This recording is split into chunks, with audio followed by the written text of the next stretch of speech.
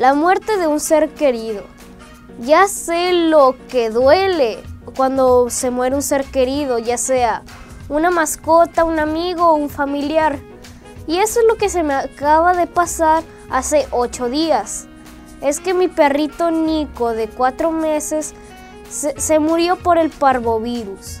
El, el parvovirus es un virus que pues ataca cachorros y razas en específico como Dobermans, Rottweilers, Shih Tzu y Dogos argentinos, entre otros.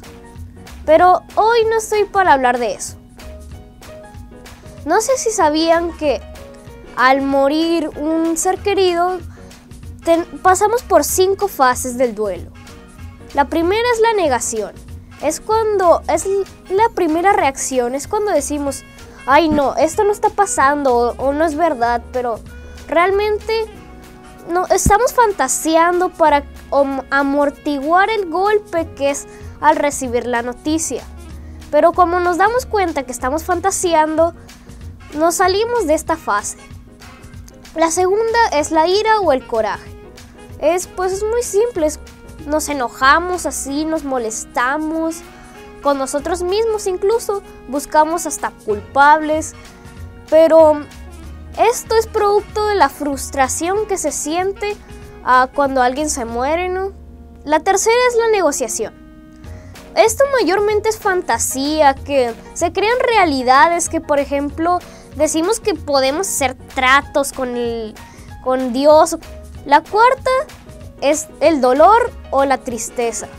Esta es una de las más duras, ya que nos arrepentimos y nos sentimos así mal porque, porque perdimos a nuestro ser querido, pero ya nos enfocamos más en la realidad, ya no empezamos a fantasear así de que, ah, esto no es cierto, no, ya decimos, no, ya, esto es cierto y ya pasó.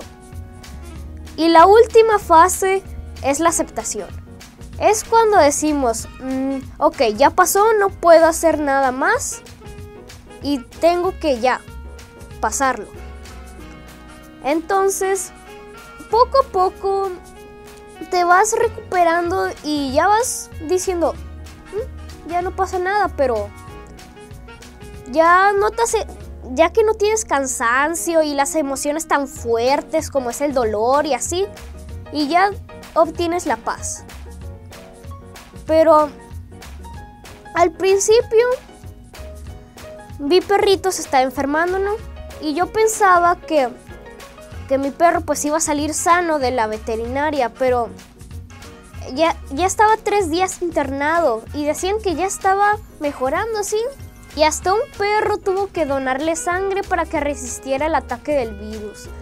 Pero tristemente al amanecer el tercer día dejó de respirar mi hermana y mi mamá lloraron demasiado.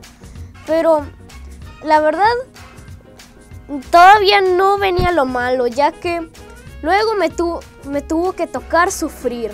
Me llegó la noticia a mí y sentí así un vacío en el corazón. Y, y ahí es cuando llegó la etapa de la negación. Cuando dije, no, esto no está pasando. Y no, empecé a llorar. Actualmente estoy entre la fase de dolor y aceptación. Pero siempre me pongo a pensar los momentos bellos y felices que estuve con mi perro Nico y, cada vez que lo recuerdo siento una emoción de nostalgia, felicidad y hasta enojo. Sé que superar estas fases es muy difícil. La verdad, yo a mí también me pasó. De hecho, mucho antes recordé esto y me puse a llorar, pero ya superé esto y puedo estar bien. Y aquí los dejo para que para aguantar las lágrimas, pero esperen. Quiero agregar algo, que si les toca este caso de que se muera un ser querido, por favor no lloren o se sientan mal, porque solo recuerden los momentos felices y en la que lo disfrutaron para que nunca lo olvides. Pero Nico siempre quedarás en nuestros corazones. Y gracias. Soy Manuel Abraham Moreno Hernández y nos vemos en la próxima videocolumna de la generación Touch. Gracias.